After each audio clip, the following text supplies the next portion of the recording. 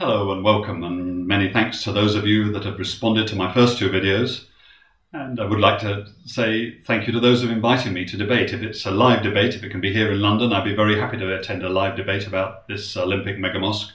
Uh, otherwise, if you live further afield, then maybe we can have our debate on YouTube. And I just want to say we're very happy to accept videos that are relevant to this debate uh, and relevant to questions and issues relating to this big mosque.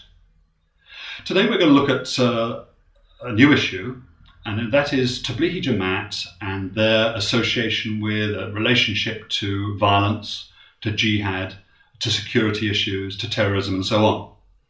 You see, Tablighi Jamaat say quite clearly and quite publicly that they do not participate, they do not believe in, they do not preach violence. They say they're very pacific, they're very pietistic, and they don't get involved in violence whatsoever. That's not their bag, that's not their scene, that's what they say. But we have a question for them, a number of questions, and it has to be acknowledged various things. Firstly, we have to acknowledge the fact that a number of British suicide bombers, terrorists, acti- uh, uh activists in, in that sense, a number of them have been associated with Tablighi Jamaat.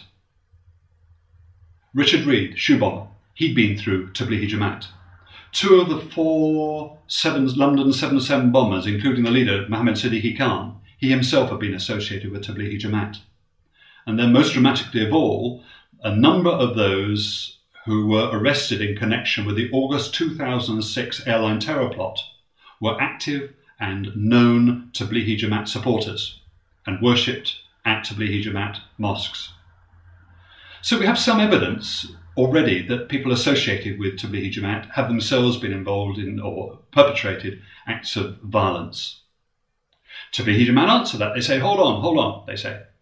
Uh, and they use this example. They say a lot of people involved in tax, tax dodging uh, go through Oxford University.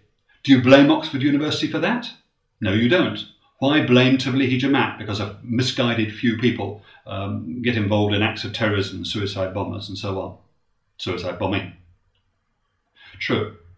But I want to put before you some evidence that actually questions this and questions this quite severely. Firstly, let me just read from a couple of academics, people who have studied Tablighi Jamaat quite carefully. The first one is a guy called Marc Gaborieau.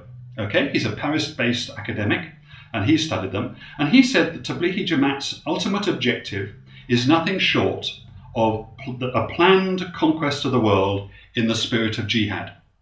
That's Marc Gaborieau.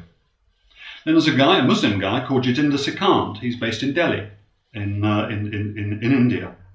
And he's written about Tablighi Jamaat and politics. And he quotes a supporter and a sympathizer saying that Tablighi Jamaat is silently preparing Muslims all over the world for lesser jihad or physical warfare against the enemies of Islam.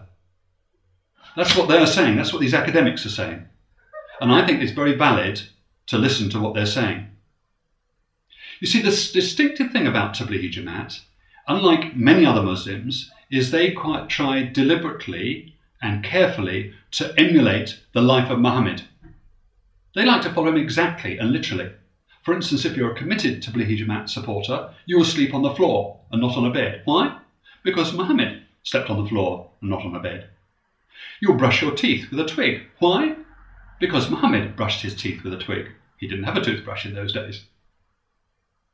There's nothing wrong with that. People can sleep on the floor, people can brush their teeth, or whatever they like. I don't have any problem with that at all, except it illustrates how Tablighi Jamaat so exactly and carefully emulate Muhammad, unlike, I say, many other Muslims. Now, they therefore have to look at Muhammad himself, and we see that Muhammad, when it comes to violence, when it comes to jihad, when it comes to uh, warfare, he himself personally was involved in 29 battle campaigns, mini wars. He believed in it as a way both defensively and offensively to stand up for Islam and to stand up for Allah. He also sent his Muslim troops out from Medina uh, in many other uh, battle campaigns too. Now, if Muhammad did that, and if Tablighi Jamaat follows so carefully and exactly the life of Muhammad, how can they say they don't believe and do not accept and do not preach jihad? And physical violence? I think we can validly ask them this question. Is it a matter of principle or pragmatics? Are you for pragmatic reasons in the West, for the time being, not propagating Islam through violence? Or as a matter of principle, have you renounced the life of Muhammad and the example of Muhammad? I think we'll find it's just pragmatic. And when the time comes, they'd be willing to take up arms, if necessary, to promote their own particular beliefs and their own particular uh, aspect of religion. As I say, this isn't all Muslims, but this is Tablighi Jamaat, and I think they have a very strong case against them, which they need to answer before they try to attempt to build this last large mosque right beside the Olympic Stadium.